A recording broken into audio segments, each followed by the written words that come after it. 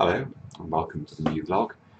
Um, today's puzzle uh, is an interesting mix actually. Um, I was had all but a handful of answers filled in in about seven minutes and then spent the next um, four or five minutes trying to solve any of the last uh, those last answers. Um, I wasn't familiar with the city in southern Uzbekistan uh, and that didn't help and I wasn't familiar with the compound either at one down so I had to use the techniques we discussed yesterday uh, in terms of you know forcing the wordplay to give me a handle on some of the letters that might be uh, that might fill those unchecked spaces.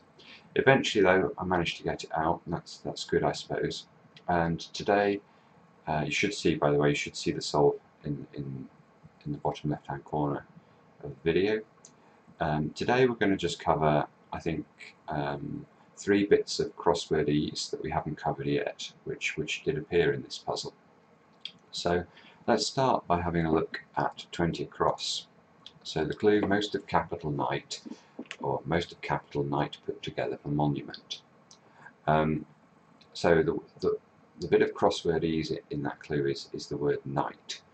Um, and this is being used uh, as a chess reference. So you do need to become familiar with the abbreviations used in chess notation. So N is often uh, used for knight, and that of course helps with this clue because you've got, uh, I, I, knew I was looking for a, a, shortened capital city, it's Cairo in this case, um, but, but, but the N at the end was was quite helpful actually in terms of uh, you know I am familiar with cairn as a monument, so it, that that clue was was relatively accessible. Um, but the other chess uh, pieces too, so you've got obviously uh, pawn, bishop, rook, uh, king, queen, uh, and you know, each abbreviation is fairly obvious. Um, bishop is the only other one I, will mention again because bishop all, can can you can see the abbreviation RR used for bishop in crosswords. I think that's for Right Reverend. Um, so again, bishop could be B or RR, um, but the others I think are all fairly self-explanatory. Um, next, which was the next clue I wanted to look at, 8 down. Um, so here we have another bit of crosswordese. So we've got complete set of books written in the country. Um, and here you've got a set of books being used in the clue.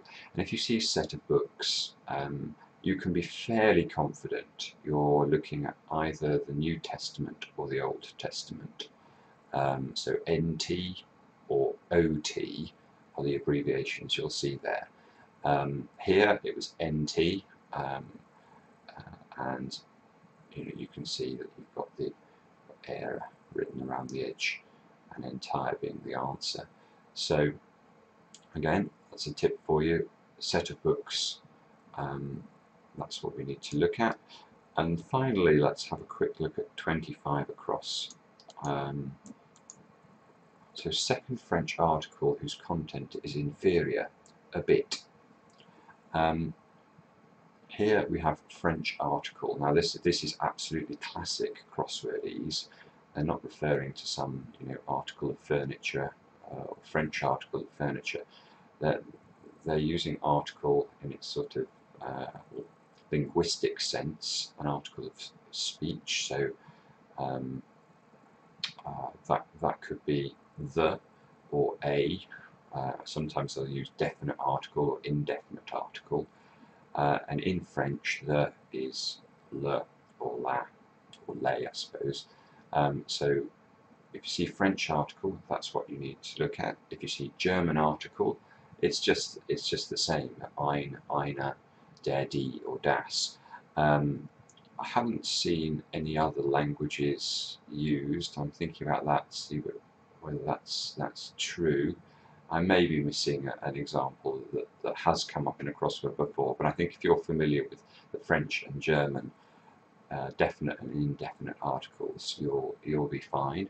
Um, for, this clue, obviously, a bit at the end is uh, it, it's not referring to a piece of something, it's referring to um, you know, uh, part of what you use to control a horse.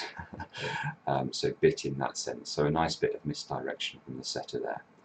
Um, okay, I hope this is helpful, and um, please please remember to leave feedback if you have any. Uh, it's really really useful to us to know how you're um, enjoying the videos, and we'll see you again tomorrow.